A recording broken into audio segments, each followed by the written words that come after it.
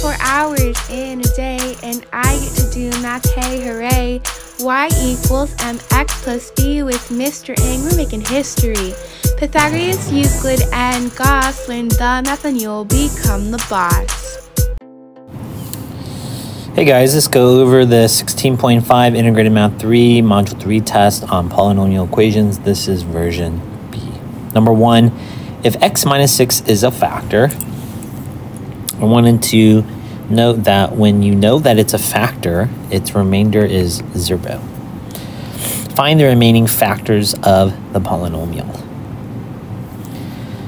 So I'm just going to use synthetic because it's fast. I'm going to use the coefficients 1, 7, negative 38, negative 240.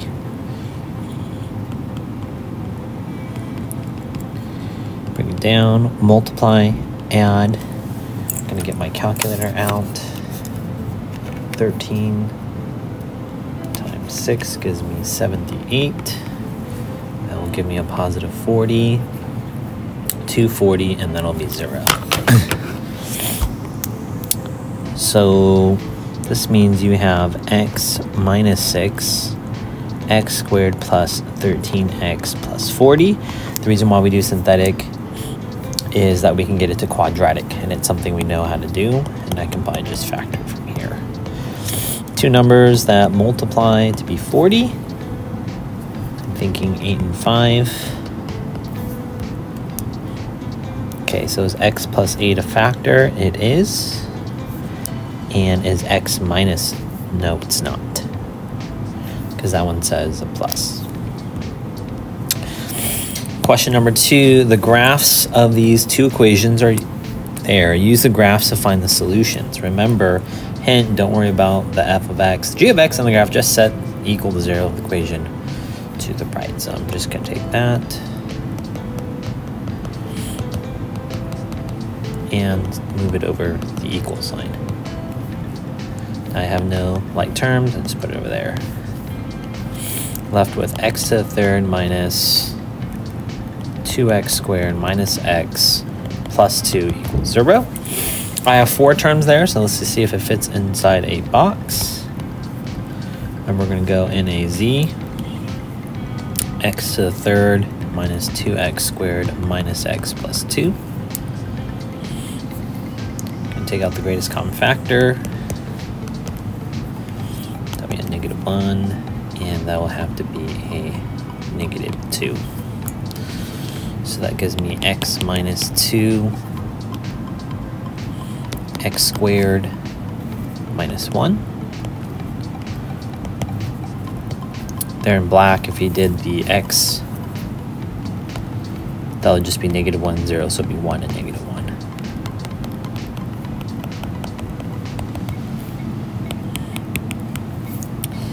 So that means x equals negative 2, negative 1, and 1 are my answers.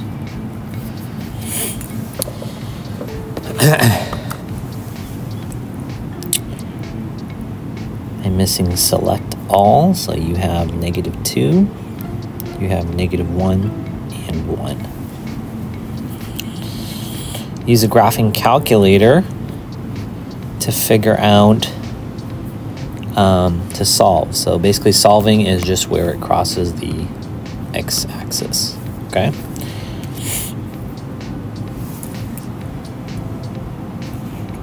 Let's put that into our calculator.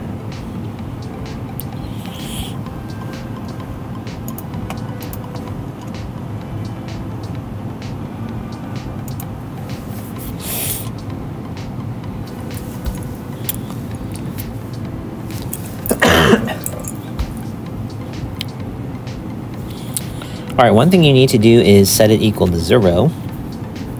Let's go ahead and do that. So I'm gonna subtract x squared, subtract x, and subtract add five. So I'm gonna have x to the third minus four x squared minus x plus six.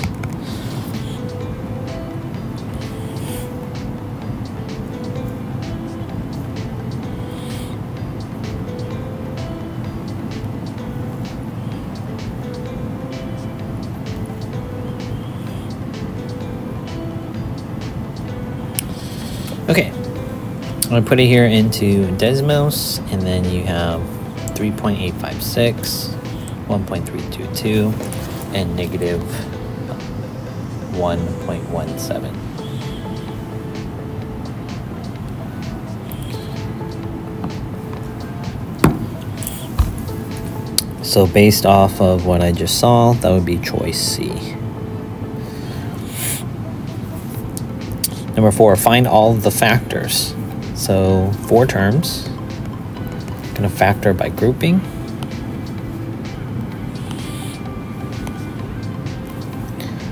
Remember to put it in like a Z.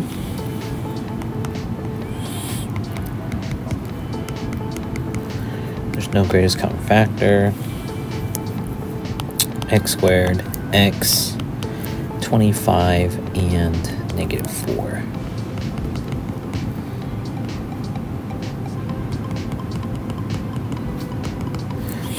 Can just set each of these equal to 0. There's one solution. I'm to set this one equal to 0 and then solve by square root method by getting the c value to the other side.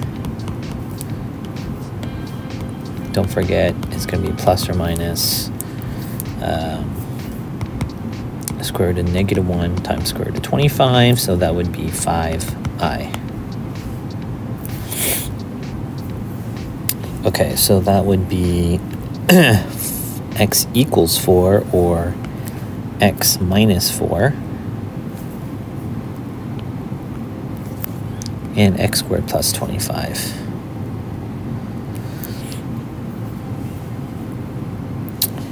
which substitution can be used to write that into a quadratic form. Quadratic form has this. Whatever the number is. So I'm going to do this here in yellow.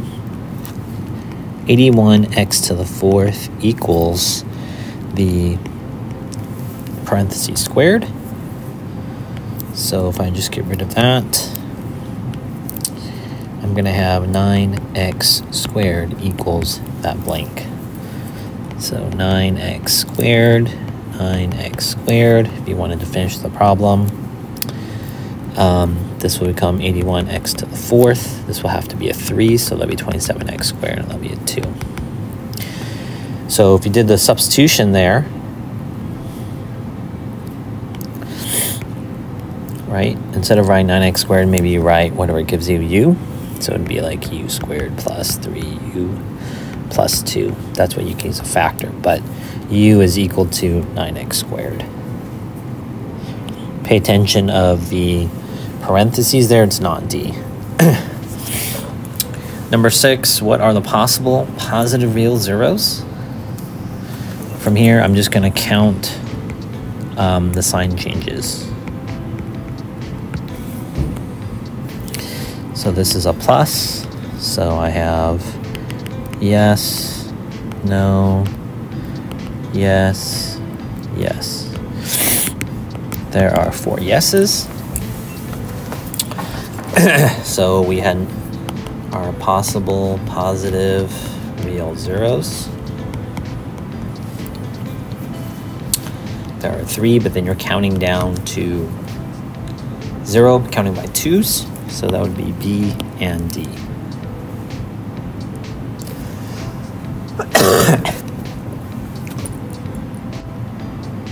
All right, use synthetic substitution. So this basically says your x value is negative 5, and that negative 5 is here.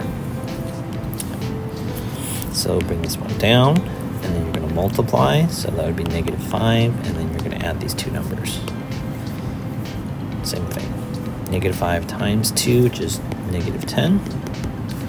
And then we're going to add down here. Get different color. This will equal negative 12. So then negative 5 times negative 12. That'll give me a positive 60. And then we're going to add those, and you'll get 28. So f of negative 5 equals 28 is my answer.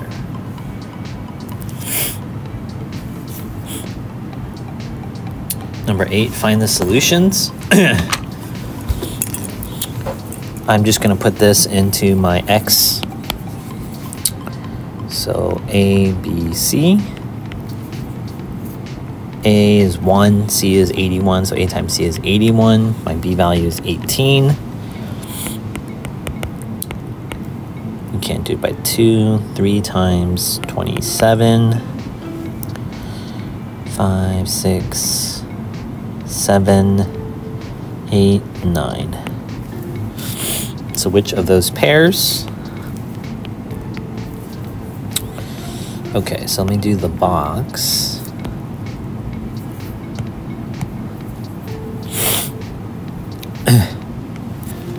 One x to the fourth goes here. 81 goes here. And 18x squared is split between these two, so that's why you should have an x squared there.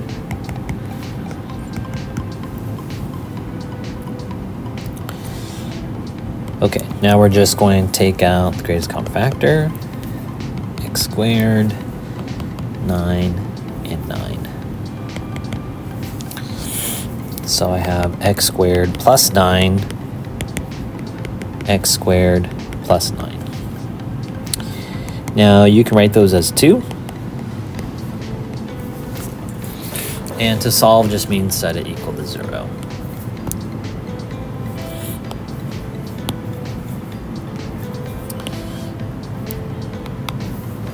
You're just going to be left with x squared plus 9. Subtract.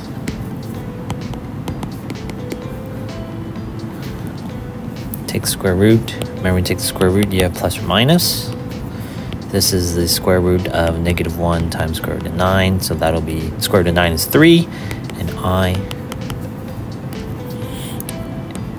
And you can note, because you're actually doing it twice, that these are doubles, double roots, or a multiplicity of 2. I spelled that wrong. That just means that you have 3i, 3i, negative 3i, and negative 3i.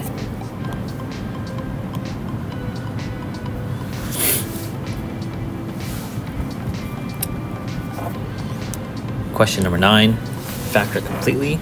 You'll notice we count two terms. This is not a difference of squares, this is a cubic because I have the power of three. So we want something that looks like this. You can put that into your calculator, the cube root of 64. You realize that it's uh, the answer is 4 because 4 to the third power is 64. So I'm going to put a 4 here.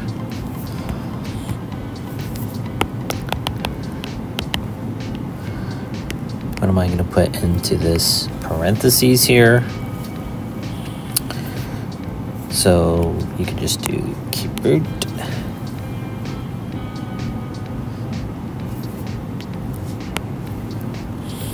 And you'll get 3x. So I'm going to put a 3x. This is my A, this is my B. 3x times 3x times 3x equals 27x cubed, and 4 times 4 times 4 equals 64. I'm going to write out my formula for a plus b to the third power. Oh, I'm going to write my acronym. Same, same, opposite, always positive. Let's see. I don't need that one over here. That was wrong.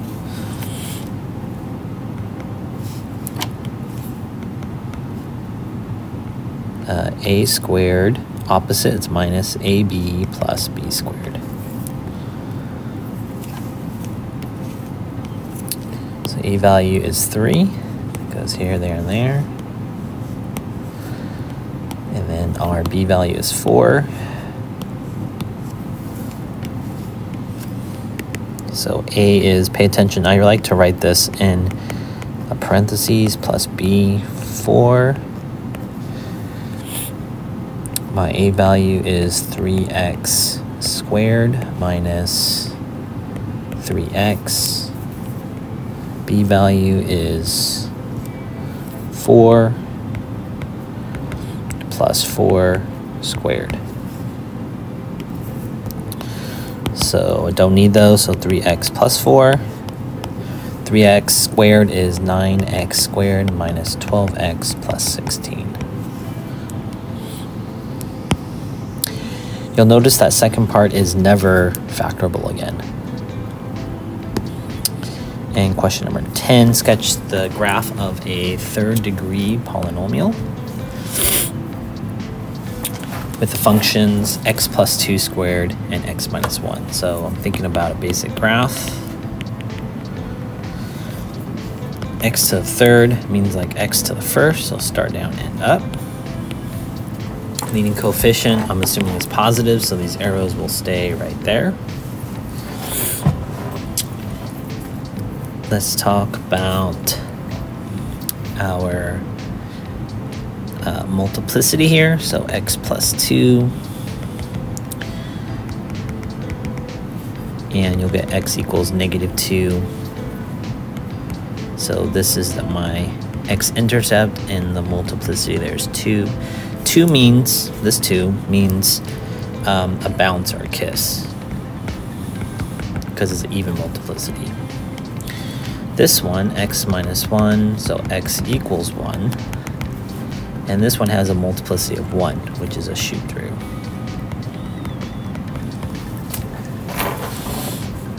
Uh, the trick to find the, you don't have to have a multiply it all out, you can, but I have 2 times 2 times negative 1, so that'll be a negative 4. So I have a y-intercept of negative 4.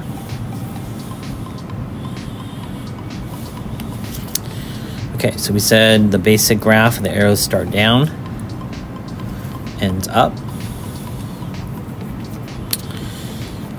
We have one at negative 2.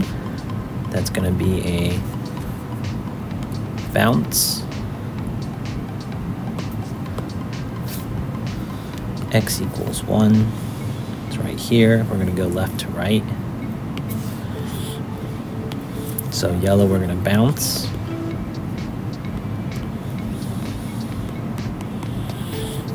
and we're going to shoot through there.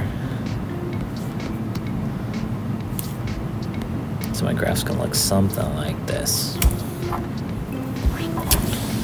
Okay? Hopefully that was helpful. See ya. Love math again? Go to Mr. Eng's website or to his YouTube channel. He will teach you to learn to love math again.